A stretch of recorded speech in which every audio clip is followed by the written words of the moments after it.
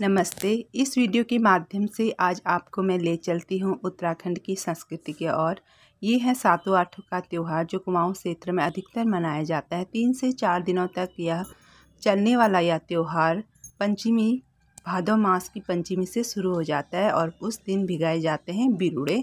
बिरुड़े यानी एक मटर का ही एक हिस्सा है और छोटे छोटे दाने होते हैं। मी के दिन पाँच प्रकार की घास से माता पार्वती की मूर्ति बनाई जाती है। उसे ढोल नगाड़ों के साथ घर लेके आया जाता है और उनकी पूजा आराधना की जाती है।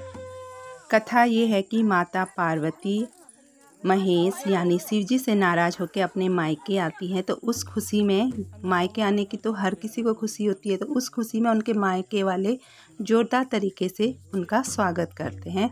तो यहाँ पर सप्तमी के दिन इस तरह शाम को माता पार्वती की पूजा होती है, उनके आगमन में खुशियाँ मनाई जाती हैं, ढोल नगाड़ों के साथ यहाँ पर खेल लगाए जाते हैं।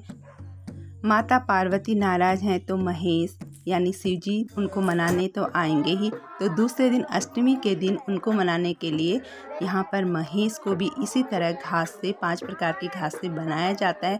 तो यहाँ पर विशेषकर हो रही है माता पार्वती और शिव जी की पूजा।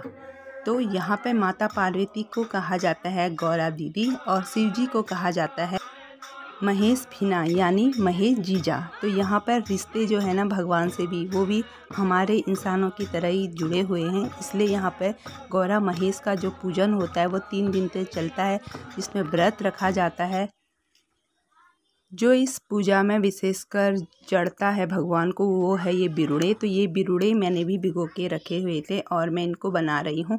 ये पूजा के लिए तो नहीं है अभी, क्योंकि मैं तो बाहर रहती हूँ तो मैं सिर्फ़ अपने खाने के लिए बना रही हूँ।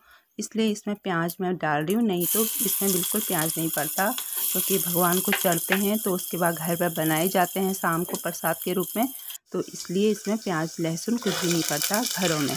और हम तो बाहर हैं तो अभी हम बना सकते हैं तो यहाँ पर मैंने लहसुन, प्याज सब कुछ एक साथ डाल दिया था, उसके बाद यहाँ पर बिरुड़े भी डाल दिए, हल्दी यहाँ पर मैं डालूँगी लाल मिर्च, धनिया पाउडर, उसके बाद नमक डाल के इसको थोड़ा सा अच्छे से हम भून लेंगे और इसमें मैं थोड़ा सा पानी डालूँगी क्योंकि ये बनते हैं सूखे सूखे तो इस तरह मैंने यहाँ पर थोड़ा सा पानी डाल के इनको चला लिया था। और उसके बाद इसमें सीटी लगाने के लिए आप चाहें तो इसमें एक सीटी भी लग सकती है जिसकी सीट अच्छा हो। प्रेशर कुकर तो यहाँ पर मैंने दो सीटी लग, लगा दी थी और मेरे अच्छे से यहाँ पर बिरुड़े बन के तैयार हो गए थे। तो ये यहाँ पर मेरे बिरुड़े हैं जो इस तरह से तैयार होते हैं।